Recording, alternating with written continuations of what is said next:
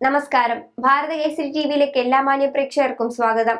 ഇടത്തരം മുതൽ ഉയർന്ന ഉയരമുള്ള പ്രദേശങ്ങളിൽ ലോഡുകളുടെ ഗതാഗതത്തിനും അപകടത്തിൽപ്പെട്ടവരെ ഒഴിപ്പിക്കുന്നതിനും ഉപയോഗിക്കാവുന്ന മുന്നൂറ് തദ്ദേശിക ലോജിസ്റ്റിക് റഫ് ടെറൈൻ വാഹനങ്ങൾ വാങ്ങാൻ ഇന്ത്യൻ സൈന്യം പദ്ധതിയിടുന്നതായി ചൊവ്വാഴ്ച ഒരു ഉദ്യോഗസ്ഥൻ പറഞ്ഞു.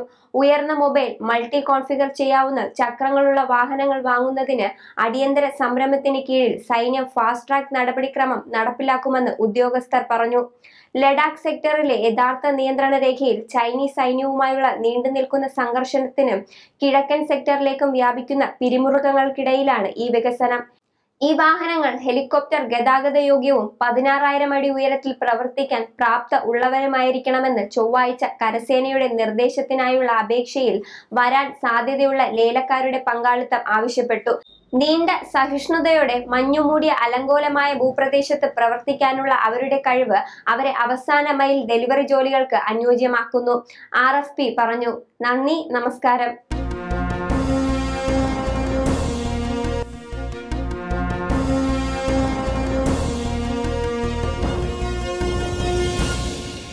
കൂടുതൽ വിനോദകരവും വിജ്ഞാനകരവുമായ വാർത്തകൾ ലഭിക്കുന്നതിനായി ചാനൽ സബ്സ്ക്രൈബ് ചെയ്തതിനു ശേഷം ബെൽ ബട്ടൺ ക്ലിക്ക് ചെയ്യുക.